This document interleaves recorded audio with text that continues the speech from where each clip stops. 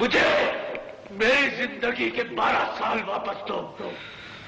مجھے میری جوانی لٹا دو۔ پاکستان کے معروف اداکار محمد علی نے برسوں فلمی دنیا پر راج کیا۔ وہ انیس اپریل انیس سو تیس کو ہندوستان کے شہر رامپور میں پیدا ہوئے۔ اور تقسیم بر صغیر کے بعد پاکستان آ کر انہوں نے ریڈیو پاکستان کراچی سے اپنے فنی کریئر کا آغاز کیا۔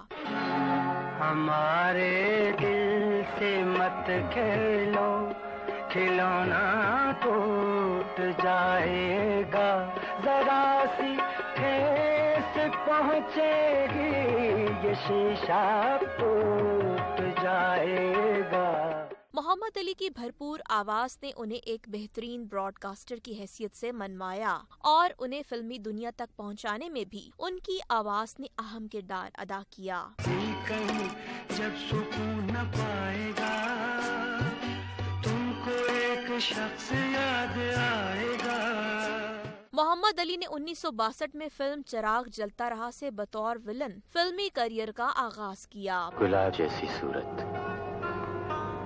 جتنی حسین ہے اتنی ہی پرسرار محمد علی کی شہرت کا آغاز انیس سو چھیاسٹھ میں ریلیز ہونے والی فلم خاموش رہو سے ہوا۔ اسی فلم پر انہوں نے بطور معاون اداکار پہلا نگار ایوارڈ بھی حاصل کیا۔ انہیں شہنشاہ جذبات کا بھی خطاب دیا گیا۔ محمد علی کی اہلیہ زیبا بیگم کا کہنا ہے کہ ان کی یادیں سرمایہ حیات ہیں۔ تجھ سا تجھ کو جان والا اس دنیا میں کوئی اور ہو۔